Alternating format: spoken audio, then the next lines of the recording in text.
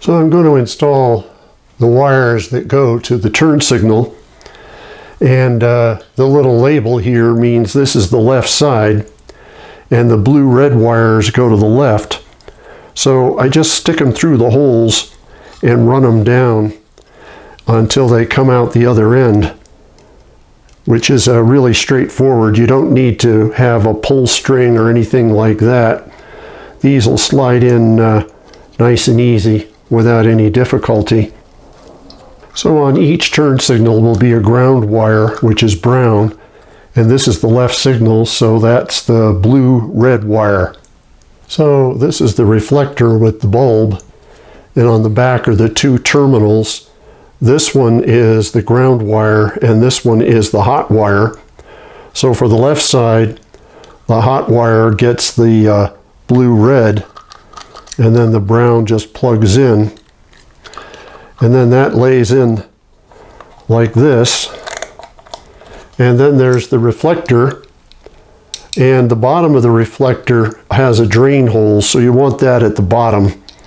And that just attaches with two long screws into the housing like that and you tighten them down.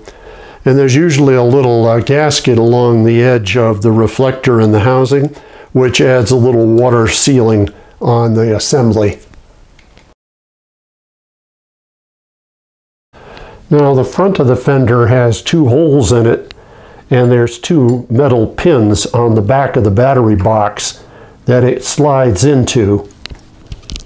I've installed some small rubber hose into the holes in the fender and then they'll slide over the pins.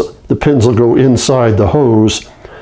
Uh, that helps keep from chipping and wallowing out the plastic on the fender. So it keeps it nice and tight and I think protects it from being abused. Now the fender mounts in the frame through a bracket here and a bracket here. So it slides in like this and then this butts up against this bracket and then the back butts up against the other bracket. And the other thing that goes on on the very back is the uh, toolbox. So it's mounted with the same hardware that holds the rear of the fender onto the rear bracket. So this is the front of the fender that goes into the front uh, bracket on the frame.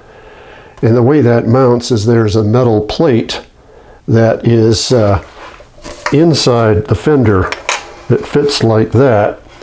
And then there's a hex bolt and a fairly hefty flat washer that thread in from the bottom like that to hold everything together. Now on the other side, where the bolt sticks through,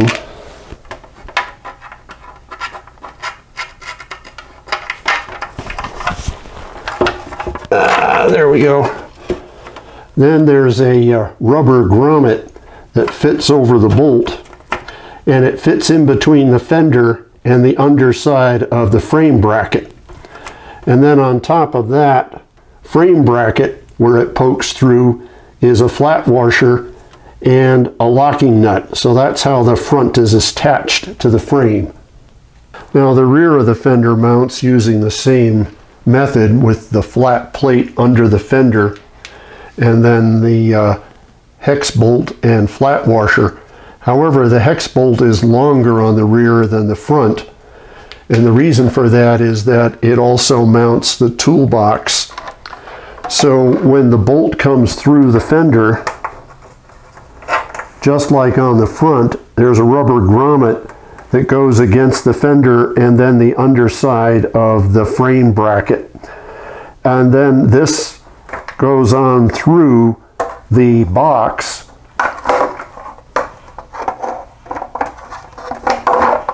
Like that. And inside the box is another metal plate that goes over. And then there's a lock nut that fits on there. So that's how the rear uh, fender bracket works so at the very end of the fender uh, is where the tail light and turn signal bracket mount. And the mounting system is the same with the metal plate inside the fender and a hex bolt with a flat washer coming up from the bottom. Now the hex bolt for the tail light and turn signal assembly is the same length as the one for the front. However, it's a little bit different mounting system up on the top because it comes through and there's no rubber grommet and the turn signal bracket slides over and then the uh, tail light slides over that. Then inside there's a uh, wave washer and a regular nut that attach through the taillight assembly to hold everything together on the back.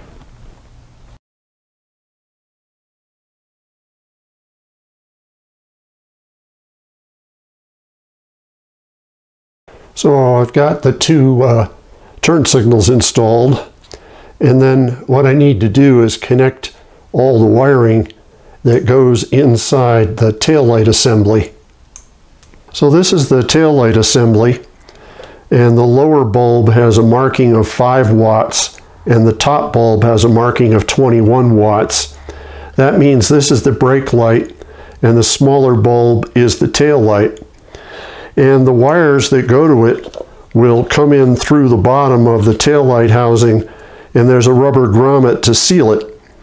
But it's easier to show how they go inside on the taillight assembly if I just uh, show it like this. Now there's two brown ground wires and they go on the two center terminals like this. There we go. And then you have a gray black wire and a green red wire. Gray black is parking, so it's on the bottom bulb, and green red is brake light, so it's on the top bulb. So this is green red, and that says 21 watts, so I have it correct. So now I'll take these off, put them inside the uh, housing, and wire them all up again. So this is the bottom of the tail light assembly, and this is the line that goes in to the wires to run the stop light and brake light through the grommet. And then this is this, the branch of the harness that goes to the turn signals and when it mounts on the uh, back of the fender, it's going to go like that. So this uh, metal tab will hold the wires tight against the bottom of the uh, taillight assembly.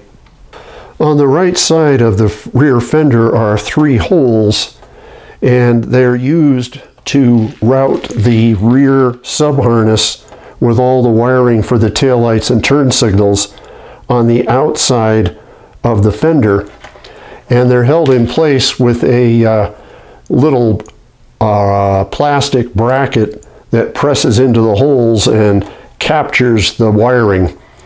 Um, by the way, these are not available from BMW anymore. This is where the rear wiring subharness plugs into the main harness. And then here's the first uh, cable hanger, and then the second and then the third, and then the wiring runs down along the side of the fender and back up into the taillight assembly.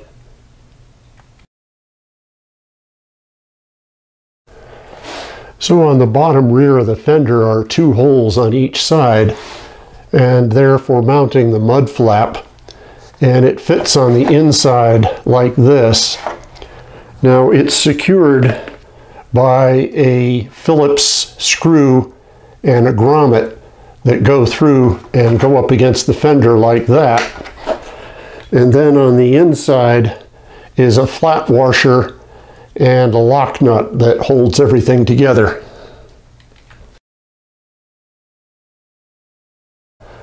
Now the license plate bracket mounts here. There's two holes at the top and one at the bottom. And uh, they have a oval head that recesses into the back of the plate. And then on the other side, inside the fender, is a flat washer and a locking nut to secure it.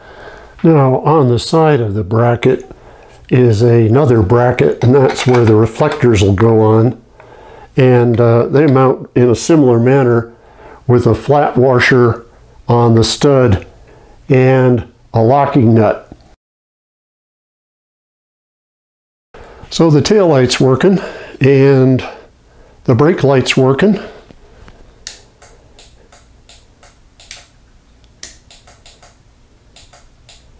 And turn signals are working. So I think I've got the fender installed and the electrical system is uh, working just fine. I've got the rear wheel mounted again and uh, the fender's on and uh, it's almost looking like a motorcycle. A few more things to do but we're getting there.